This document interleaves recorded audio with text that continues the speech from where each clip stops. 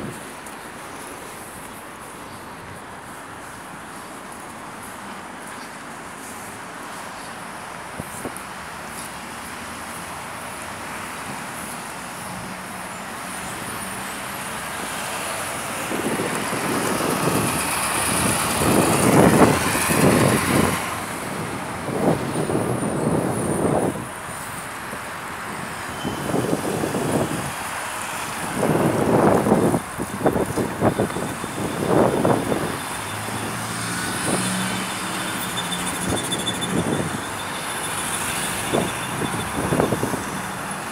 по-моему, уже опасно ходить, поэтому лучше вернуться обратно.